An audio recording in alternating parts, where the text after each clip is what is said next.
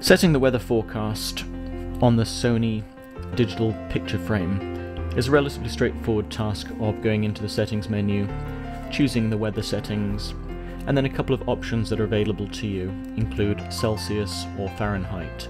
Choose whichever option is appropriate, and then select the area where you live or the area that you would like to see the weather forecast for.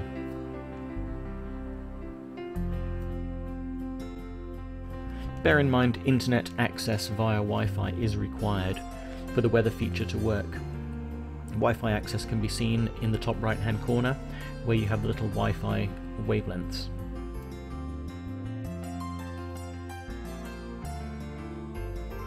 Once completed, all that remains is to return to the basic settings and you'll now see the weather forecast indicated in the lower right hand corner of the device.